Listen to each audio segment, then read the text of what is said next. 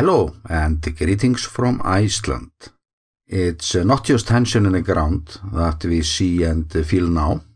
While we wait for the next eruption, it's also tension in the air and even in the volcano Katla, where uh, a magnitude 3 plus earthquake was detected last night.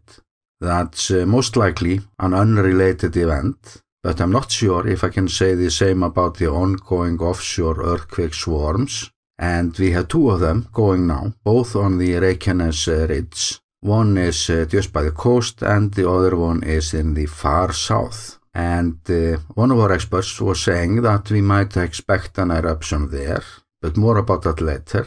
It's uh, way more common to get offshore earthquakes and eruptions closer to the Reykjanes Peninsula. So I'm starting the update with a deep dive not far away from Grindavik and uh, I have noticed and mentioned this tendency before. Offshore earthquakes tend to migrate onshore and the discussion about offshore eruptions pop up every now and then. And it's no surprise this time since they are so close to uh, the Grindavik events this time. However, historically speaking, it's a bit strange that the submarine eruptions have not been included in the big picture. Officially, the peninsula just woke up in 2021 from the state of dormant since the 13th century, or little under 800 years. But when we include submarine eruptions, we are talking about as little as 50 years. And I do find it a bit peculiar how the offshore eruptions are left aside when we talk about this uh, 2021 wake-up, especially since the Reykjanes and Iceland is the same ocean ridge. Iceland just happens to stick up from the sea, and uh, not all realize that. However, the history of uh, submarine volcanoes is much more difficult to trace than the history of our ordinary volcanoes, and uh, submarine eruptions might even be more frequent than we previously believed. But in 1783, during the devastating Laki eruption on the Highlands, it was hard not to notice that uh, we got a new island by the Reykjanes Peninsula, and uh, that timing raises question about connection between our major systems. And since uh, 1783, we have at least uh, five eruptions in historical sources, or uh, submarine eruptions, the last one in 1974. And I'm mentioning this now since the offshore unrest seems to go hand in hand with the onshore unrest on the peninsula.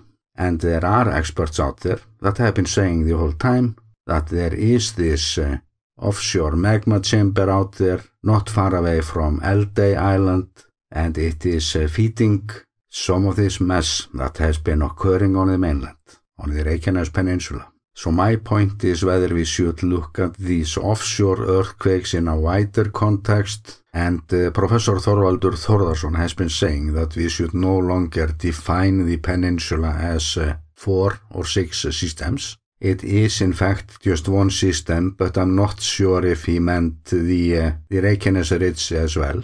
But he is at least saying that we need a new textbook about the geology of the Reykjanes Peninsula. And this afternoon he was saying that those earthquakes uh, on the Reykjanes Ridge far south might be indicating a submarine eruption to start soon or from the seismic data that he's been looking at. This is literally a long shot, but he tends to get such shots often right, although this is in the far south. And earthquake or volcanic activity so far south would have no effect here in Iceland However, there were some strange earthquakes there a few weeks ago, magnitude 5 and there around, and the Icelandic experts said back then that that activity could be connected to a scenario on the Reykjanes Peninsula, since uh, after all, the Reykjanes Peninsula and the Reykjanes Ridge is just uh, the same ocean ridge, and we do actually have more possible scenarios when it comes to offshore eruptions like the one through the magma dike that extends through Grindavik under the harbor and offshore.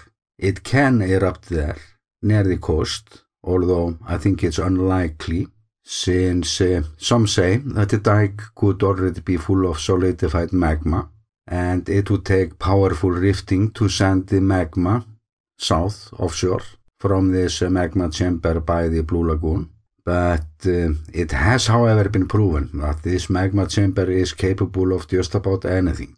So let's uh, concentrate on Grindavik for a while now.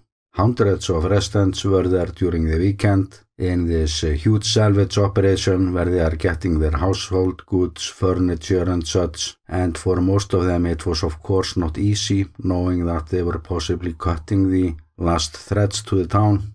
But the community lives on. Although it's scattered around the country, split up like the football house in Grindavik, but uh, it is the local sport teams that are uniting the people every now and then during matches. But the football house is, however, telling uh, its own story about the problem that the community is facing. And uh, as for the earthquakes right now, I see this anomaly I want to mention I see them follow the plate boundaries along the complete peninsula, indicating that there is more widespread tension, and it's hardly a surprise.